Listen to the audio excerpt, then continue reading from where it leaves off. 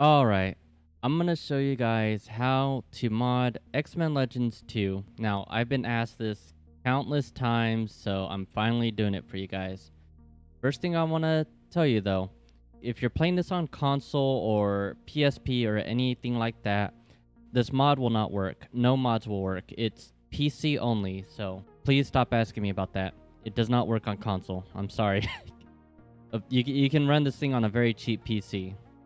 I'm going to assume that you don't have the game on PC because not many people actually do. And that's fine. All you have to do is go to this website here, myabandonware.com. And you'll want to search for X-Men Legends 2 Rise of Apocalypse, although I'll have the link in the description for you guys so you don't actually have to go out of your way to search for it. Once you're on here, we'll scroll down and click the yellow download button. Now, we'll see a whole bunch of things here. The only one we need to worry about is this, the one that says full rip. So go ahead and click that download button. I already have the game downloaded so that this can go by faster. And once you download it, it'll show up in your downloads folder or wherever it is you have your downloads going to.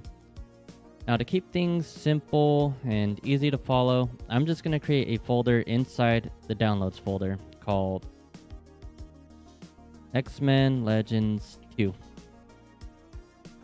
Now, the one that we just downloaded is this X-Men Legends 2 Rise of, of Rise of Apocalypse. Sorry, little tongue twister there. So we're gonna drag this file into X-Men Legends 2. Just ignore this for now. You don't have that yet. So once we're in here in the folder that we just made, we're gonna click on this, right click, and then click extract here or wherever you want to extract it to. Now, I have WinRAR. You might not have that, but Windows will come with whatever extraction thing it comes with now. My PC is old, so I have WinRAR.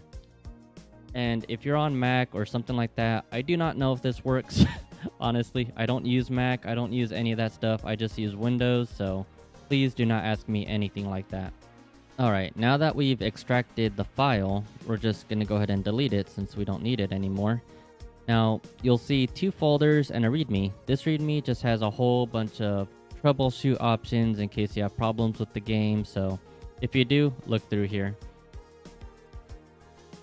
This folder here, DG Voodoo, it just has a whole bunch of, you know, files to fix the game in case you have trouble, so if you're not having trouble, just ignore this. You could even delete it if you're not having problems, but I don't recommend deleting it. Anyways, we'll go into the X-Men Legends 2 folder and we'll look for the application file. It'll be named X-Men 2 and we'll double click it to run it. Alright, I'm just gonna load up an old save that I have just to show you guys that the game works. Okay, so Oh, I have to set up controls, so let me let me just show you guys how I set up controls real quick. So we'll go into options. And then down here we'll see advanced options. And then on player one, we'll set up our controls. So move forward will be up on the analog stick.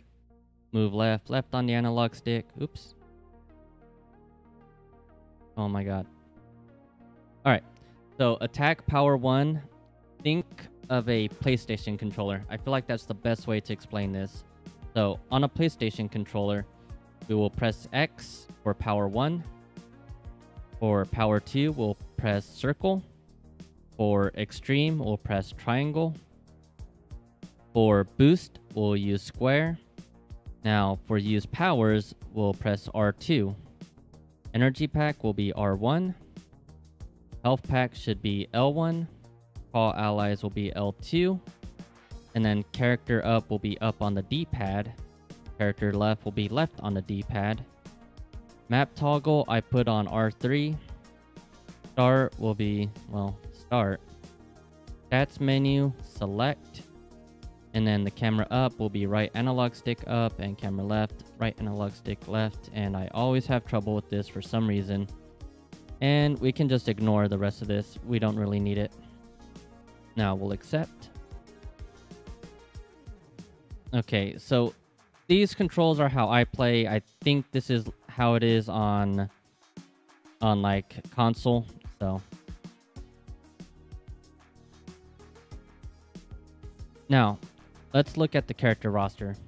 So keep in mind, this is unmodded. This is the vanilla game roster. So we have Deadpool, Iron Man, Juggernaut, Magneto, all the original roster of the game. So we don't have the mods yet, and that's what we want. We want the mods. So let me close this game out and show you how to get them. Alright, so we're want to go to this website here, marvelmods.com. And I'll have the link for this in the description, so you can just go to that and easily find what you're looking for.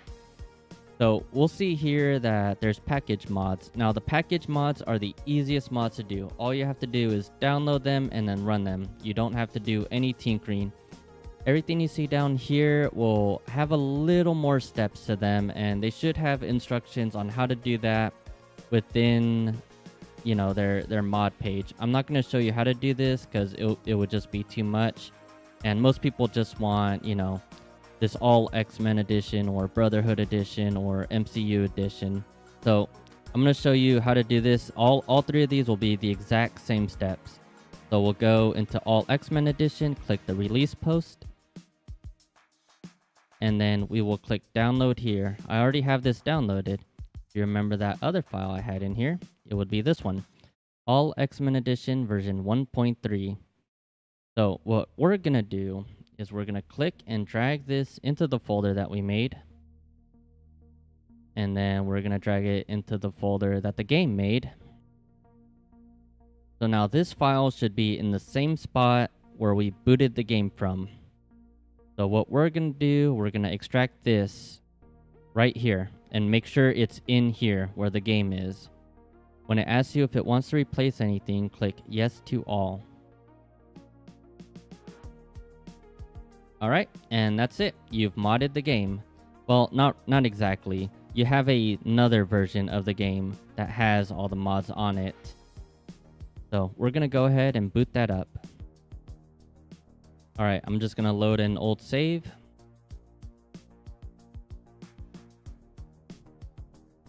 And as you can see, we have Beast and Psylocke on our team who are not usually in the game.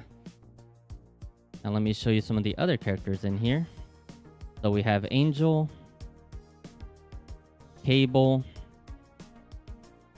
Dark Phoenix, Emma Frost, Havoc, and Jubilee, just to name a few.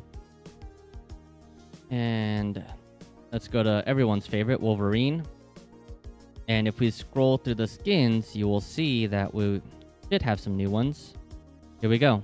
Wolverine's classic tiger stripe, his brown and tan costume, as well as many others. So pretty much anything you could ever want will be in these packages. So if you want your All X-Men edition, you have that. If you want your all Brotherhood of Evil Mutants with Magneto and all them. There's that version. You can't have them all like you, you can't have one game with like 100 characters. It just the engine cannot handle that. So you have to have multiple different versions, unfortunately. I almost forgot to mention. So when you first get this, you're only going to have two skins. And you're going to be like, "What the hell? Where's the rest of the skins? Did it not come with it?" So in this game, you have to put in Either you put in a cheat code to unlock all the skins, or you have to beat the game. One or the other. I recommend just putting in the cheat code. You can find that anywhere. Um, I, I, highly recommend using a controller for the cheat code because it's not going to make a whole lot of sense if you're using keyboard and mouse. So just keep that in mind. All right, so I hope that helped you guys out. If you have any questions, go ahead and leave a comment. And I highly recommend that you guys join their Discord. You know, tell the people who made these mods, you know, your thanks because they put a lot of work and effort into this. And they are very helpful. So if you guys actually have any questions or want to do more modding to the game, I only briefly covered like, you know, the easy All X-Men edition. But there's a lot of mods for these games and the community heavily, still heavily supports it, and they've been doing it for many years. So they can help you out a whole lot more than I can. So I'll have the link to their Discord in the description. Please go check them out. Give them all thanks because they put a lot of effort into this. And I hope you all enjoy.